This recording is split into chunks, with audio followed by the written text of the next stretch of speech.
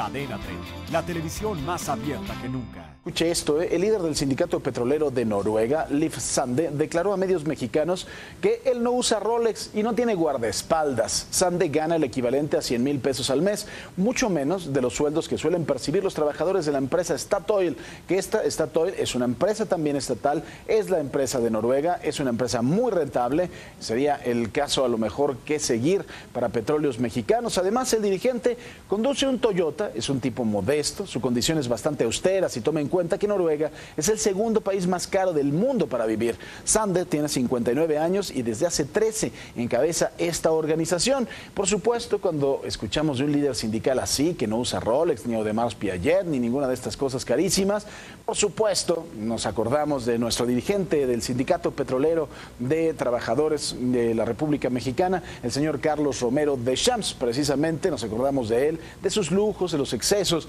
que han quedado en evidencia gracias a sus hijitos. Por ejemplo, Carlitos, Carlitos Chico, tiene dos departamentos chicos también en Miami con valor de 7 millones 550 mil dólares, algo así como 93 millones de pesos. Además, su Ferrari Enzo con valor de 2 millones de dólares, ahí lo estamos viendo, ¿no? que es una edición limitada. Ahí está el carrito. Se fabricaron nada más 399 unidades entre el 2002 y el 2004. Y también su hijita Paulina, Keiko, Boli y Morgancita, que son unas cosas divinas de perros, unos bulldog. Ya sabe usted, se acuerda. Mire, un Vega Sicilia que se lo venden a usted en un restaurante entre 15 o 18 mil pesos, dependiendo la añada, ¿no? Sus yates, sus viajes en yate, los vinos de más de 10 mil pesos, sus viajes a Bahrein, sus viajes a Francia, a Versalles. No, digo, hay que vivir, si vamos a vivir bien, vamos a vivir bonito, ¿no?